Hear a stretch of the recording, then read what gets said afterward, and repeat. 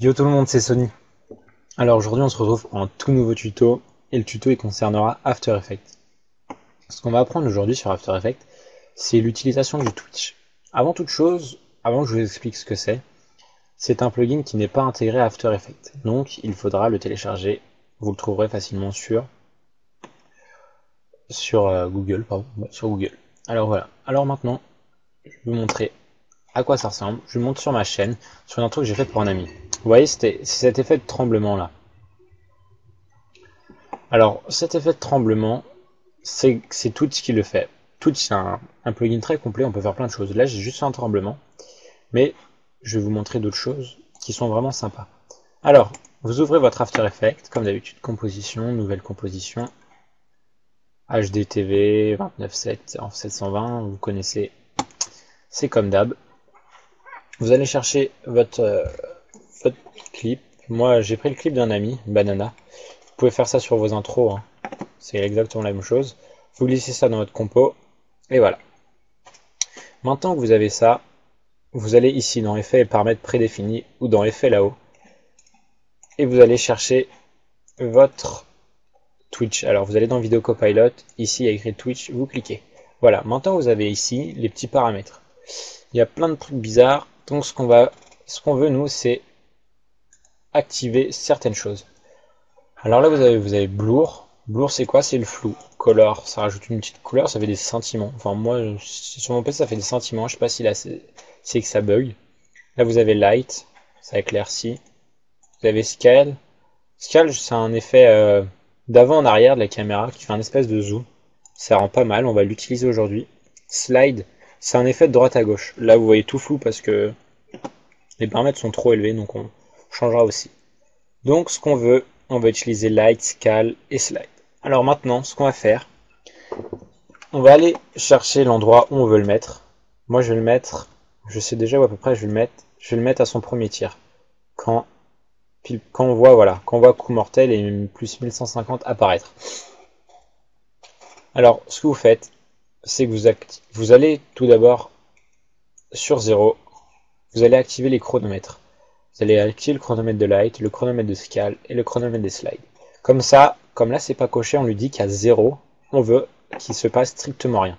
Et on va aller jusqu'à notre endroit, voilà. On va mettre pile poil ici, et maintenant on va activer light, on va activer scale, et on va activer slide. Comme ça, ça, lui dit que pile poil à, je vais vous dire exactement,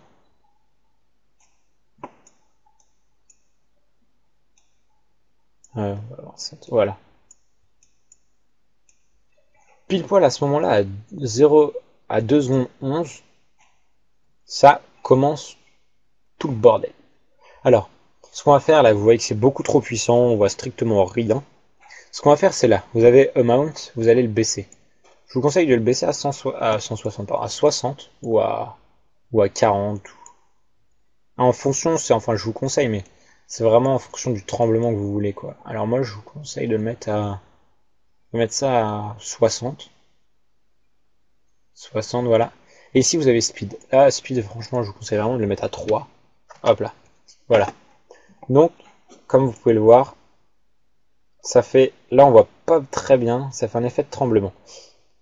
Alors ce qu'on va faire, c'est qu'on va lui dire de s'arrêter pile poil ici, quand il va presque rentrer dans la, la maison. Alors pour arrêter ça, vous avez juste à décocher vos trois trucs. Vous voyez que comme on a nos chronomètres, ça met des marqueurs et ça c'est super intuitif. Quand vous lui dites que vous en voulez, ça va se mettre et quand vous lui dites j'en veux plus, il n'y en a plus. C'est super pratique. Et c'est ça qui rend le, plugin vraiment simple d'utilisation. Alors, je vous montre, voilà, il y a le kill qui se fait, ça bouge dans tous les sens. Ça rend, ça rend plutôt pas mal, là vous voyez pas très bien parce que sur mon PC c'est un peu de mal. Je sais pas si je baisse, je vais mettre entière. Ça va peut-être être pas très beau. Ça bug toujours autant. Mais bon. Je vais vous, je vous mettrai un rendu à la fin hein, pour vous montrer. Donc voilà, là c'est déjà fini. Euh, il y a juste ça à faire. Faut vraiment oublier, pas, ne pas oublier, pardon, à cocher ça. Après, vous baissez ici pour euh, que vous voyez mieux. Et maintenant, ce que vous voulez faire, pour, si vous voulez un peu plus de style, on va dire, entre guillemets. Ah, là, il y a mon chat. Je sais pas si vous l'avez entendu, on s'en fout un peu. Vous avez ici opérateur contrôle, vous allez dans opérateur contrôle, on va ajouter un petit truc assez sympa, le rouge vert bleu. Alors je vais vous montrer ce que c'est. Vous allez dans slide et ici vous avez slide RGB, donc red, green, blue. Vous allez le monter. Oula. Vous allez le monter. Vous allez le monter. Vous, pardon, vous cochez d'abord. Vous cochez votre. Euh, voilà.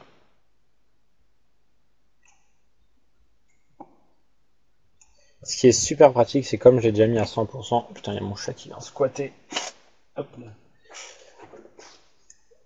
Comme là, il était, moi, il était déjà à 100%, donc il s'active automatiquement. Vous voyez que quand je suis à quand euh, quand slide il est décoché, ça le désactive automatiquement. Ici, ça devient gris. C'est vraiment pratique. Et pile poil au moment où je lui dis, il apparaît.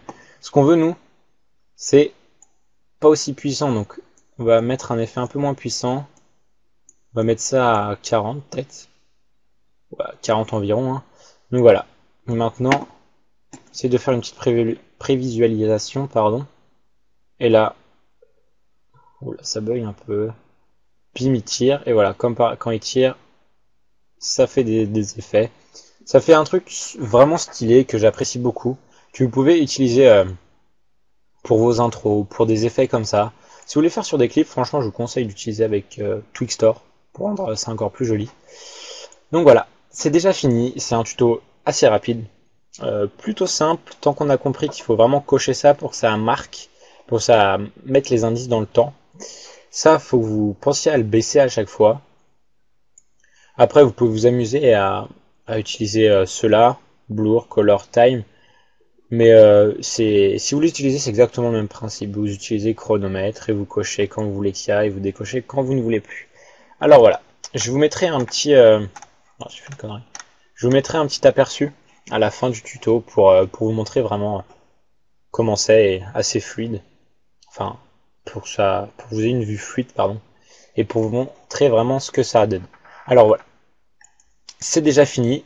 Euh, pour toute question comme d'habitude, vous me les posez. Si vous avez eu un souci, vous me posez vos questions, je vous répondrai avec grand plaisir. Euh, si vous avez des propositions pour des tutos, bah, vous m'envoyez un message. Ça, c'était encore un tuto qu'un abonné m'a proposé. Donc, euh, je me suis empressé de le faire. Si vous découvrez ma chaîne, bah, vous savez quoi faire. Je vais pas vous radoter ça à chaque fois. Si vous avez aimé, bah, vous aimez la vidéo. Ça m'aide beaucoup. Et ça me pousse à continuer. Euh, si, ouais. Bah voilà. C'était tout. J'espère que vous avez réussi. Et euh, on se retrouve pour un prochain tuto. Allez, à la prochaine, salut